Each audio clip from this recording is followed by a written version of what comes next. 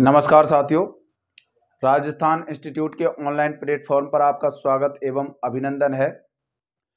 साथियों, हमारा बाल विकास का आज जो है लास्ट लेक्चर है, जिसमें आज हम बात करेंगे भाषा के विकास के बारे में, कि बच्चा कैसे जो है भाषा का डेवलपमेंट करता है, लैंग्वेज का किस प्रकार जो है डेवलपमेंट बच्चे में जो है धीरे धीरे होता है।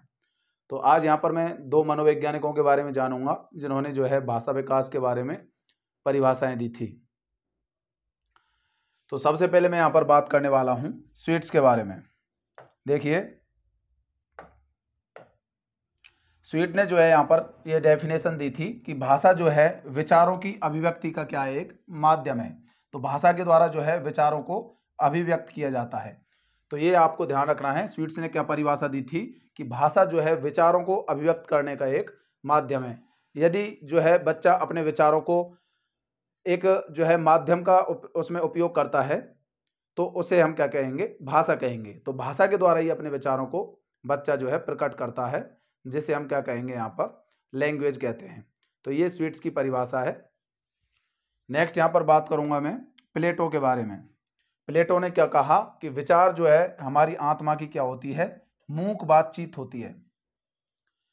जब ये हमारे होठों से बाहर आती है तो एक ध्वनि का रूप ले लेती है, जिसे ही हम क्या कह देते हैं? भाषा कहते हैं। तो विचार जो हमारे मस्तिष्क में बनते हैं, वो हमारे जो विचार होते हैं, वो हमारे होठों से बातचीत के रूप में बाहर निकलते हैं, जो कि एक ध्वनि का रूप लेते हैं, जिसे ही हम क्या कहते हैं? लैंग्वेज कहते हैं। तो ये परिभाषा किसकी थी? प्लेटो की ये परिभाषा थी। देखिए, प्ले यहाँ पर मैं बता देता हूँ कि जितने भी मनोवैज्ञानिक हैं, जिन्होंने परिभाषाएँ दी हैं, ये एग्ज़ाम में कम पूछी जाती हैं। परिभाषाओं के बारे में क्वेश्चन जो है कम आते हैं। तो आपको जो है ज़्यादा टेंशन नहीं लेनी है। यदि आपको ये परिभाषाएँ याद भी नहीं होती हैं तो आपको घबराना नहीं है। इनको रिवाइज करते चलना है, चाहे याद हो या नहीं हो। आपको बार बार रिवाइज करते चलना है। जैसे जैसे वीडियो में डालता चलूँ साथ साथ आपको पढ़ते चलना है। तो यहाँ पर नेक्स्ट देखते हैं। भाषा भाषा की हम विशेषताओं के बारे में जानेंगे कि भाषा की क्या क्या विशेषताएँ होती हैं। तो मैं आपको यहाँ पर बता देता हूँ। भाषा की विशेषताओं में भाषा कैसी होती है? अर्जित होती है।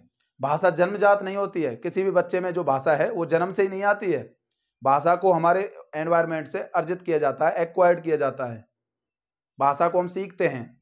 भाषा अर्जित होती है, ना कि जन्मजात। ऐसे क्वेश्चन पूछे जाते हैं कि भाषा जन्मजात होती है, अर्जित होती है? कथन, तर्क के जो है ऑप्शन दे देते हैं। उनमें पूछा जाता है कि भाषा अर्जित होती है, भाषा जन्मजात होती है। तो ऐसे इन तर्कों से आपको जो है पता लगाना है। यहाँ पर ध्यान रखना है, भाषा कैसी होती है?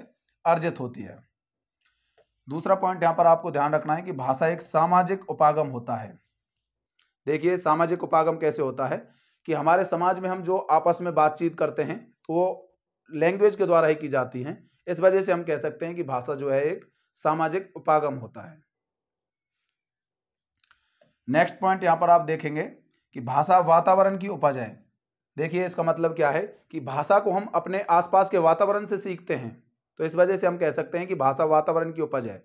हमारे आसपास जो है, हम देखते हैं, उनका ही हम अनुसरण करके भाषा को सीखते हैं। इस वजह से हम कहते हैं कि भाषा जो है, वातावरण की क्या होती है?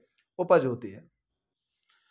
नेक्स्ट पॉइंट यहाँ पर भाषा की हम देखेंगे, भाषा की विशेषताओं में कि भाषा परिवर्तनशील होती है।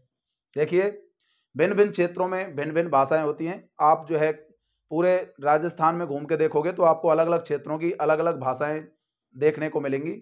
चाहे क्षेत्रीय भाषाएँ हों, चाहे राज्य भाषाएँ हों अलग अलग राज्य में जाओगे तो आपको राज्य भाषाएँ अलग अलग मिलेंगी। हर राज्य की भाषाएँ अलग हैं। तो यहाँ पर जो है, भाषाएँ क्या होती हैं? परिवर्तनशील होती हैं, ये आपको ध्यान रखना है।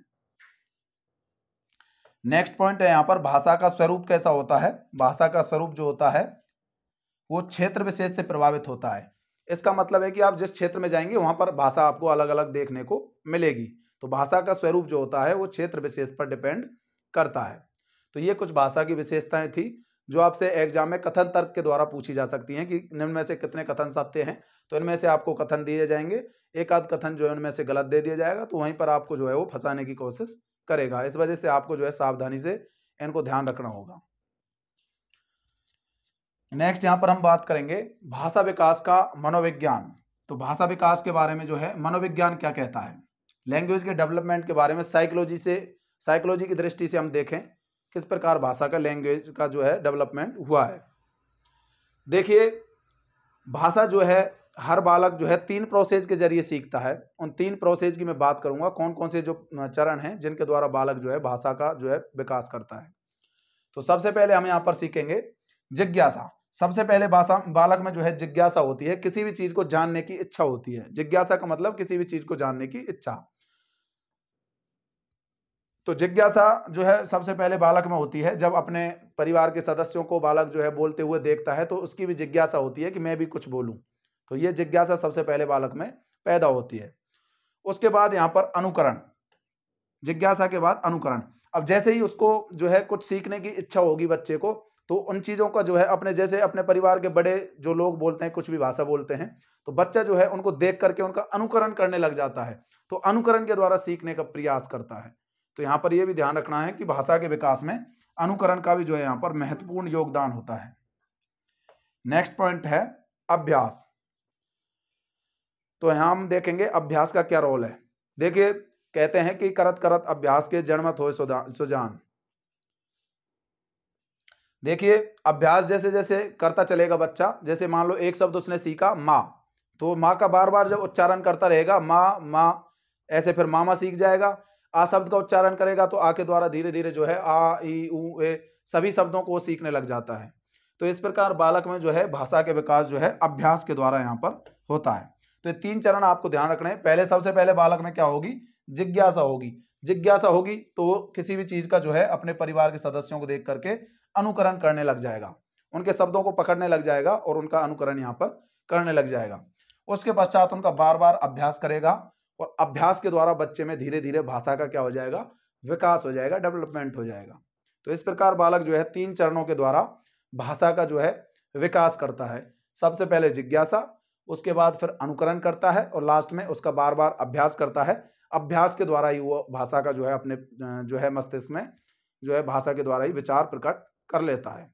तो इस प्रकार बालक में जो है भाषा का विकास यहाँ पर होता है। तो मनोविज्ञान की दृष्टि से तीन चरण आपको याद रखने हैं, जिज्ञासा, अनुकरण और अभ्यास। नेक्स्ट यहाँ पर हम देखने वाले हैं कि बालक में जो है भाषा विकास के कुछ व्यवहारिक सोपान है, होते हैं। वो कौन कौन से होते हैं? सोपान का मतलब होता है स्टेप चरण। तो कौन कौन से चरण हैं जिनके द्वारा बालक में भाषा का यहाँ पर विकास होता है? देखते हैं। फ़र्स्ट यहाँ पर स्टेप आपको ध्यान रखना है, क्रंदन। क्रंदन का मतलब क्या होता है? रोना। बच्चा सबसे पहले क्या होता है क्या करता है? रोता है। जैसे ही बच्चे का जन्म होता है तो आपने देखा होगा बच्चा रोने लग जाता है। क्रंदन करता है। तो क्रंदन के द्वारा वो अपने विचारों को यहाँ पर प्रकट करने का प्रयास करता है। तो रोने के द्वारा बालक जो है सबसे पहले अपने विचारों को प्रकट करने का प्रयास करेगा। उसके बाद बालक जो है, जब पाँच से छह महीने का हो जाता है तो उसके बाद वो बलबलाने लग जाता है। आ, ई ऊ ए, ऐसे शब्दों को वो सीखने लग जाता है, बोलने लग जाता है। उसके पश्चात यहाँ पर जो है बारह से जो है, बड़ा, जैसे जैसे बारह महीने से बड़ा होता जाता है, चौबीस महीने या दो साल के आसपास बालक जो है यहाँ पर शब्दों को मिला करके बोलने लग जाता है, अर्थात उसमें भाषा का विकास यहाँ पर दो साल के बालक में होने लग जाता है। तो ये आपको यहाँ पर ध्यान रखना है। सबसे पहले यहाँ पर क्रंदन होगा, बालक क्रंदन करेगा, उसके पश्चात बालक जब पाँच से छः महीने का हो जाता है तो बलबलाने लग जाता है। थर्ड स्टेप यहाँ पर है अनुकरण। तो बालक जो है, जब नौ से ग्यारह महीने का आयु का हो जाता है तो अनुकरण के द्वारा ही शब्दों को बोलने का प्रयास करता है। नौ से ग्यारह महीने का बालक जो है यहाँ पर अनुकरण के द्वारा क्या करेगा? शब्द बोलने का यहाँ पर प्रयास करता है। तो ये आपको ध्यान रखना है। सबसे पहले यहाँ पर क्रंदन, बल बनाना, अनुकरण। इन शब्दों का बालक जो है, अपने जीवन में जो है, यहाँ पर इनका यूज़ करता है। उसके बाद अपने जीवन में भाषा का यहाँ पर डेवलपमेंट या विकास करता है।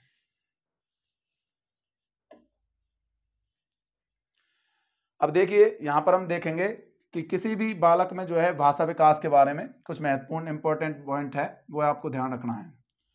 किसी भी बालक में भाषा विकास के लिए सर्वाधिक महत्वपूर्ण क्या होते हैं? शब्दकोश भंडार होते हैं। मतलब उसके मस्तिष्क में जितने शब्द होंगे, भाषा का विकास जो है उसी के अकॉर्डिंग बच्चे में होता है। उसके भाषा विकास को ठीक तरह से कर पाता है। जो बालक जो है अपने शब्दकोश भंडार का सही तरह से इस्तेमाल कर लेता है, वो आसानी से भाषा को सीख जाता है। तो ये आपको ध्यान रखना है कि किसी भी बालक में भाषा विकास के लिए सर्वाधिक क्या होता है, महत्वपूर्ण शब्दकोश भंडार का विकास है, जो कि उसके भाषा विकास को ठीक तरह से कर पाता है। नेक्स्ट यहाँ पर मैंने आपको बताया था कि भाषा विकास के कुछ व्यवहारिक सोपान जो थे, सबसे पहले बालक में जो है क्रंदन करने लगता है, रोने लगता है, उसके पश्चात जो है बालक बलबलाने लग जाता है, और सबसे लास्ट में यहाँ पर अनुकरण करता है। तो इन तीन प्रोसेस के द्वारा बालक में भाषा का विकास यहाँ पर होता है। तो ये भाषा विकास के कुछ व्यवहारिक सोपान या स्टेप्स होते हैं, चरण होते हैं, जिनके द्वारा बालक में भाषा का विकास आसानी से हो जाता है। तो ये स्टेप आपको याद रखने हैं। नोट्स मैंने आपको पीडीएफ फॉर्मेट में व्हाट्सएप पे भेज दिए। साथ में आपको मैं ऐप में भी डाल दूँगा। कुछ टेक्निकल इश्यूज़ की वजह से कई दिन से मैं वीडियो नहीं डाल पाया ऐप के अंदर। एक साथ मैं आपको डाल दूँगा जो वीडियो बची हुई है। घबराइए नहीं साथ साथ आप जो है पढ़ते रहें। तो जय हिंद जय भारत।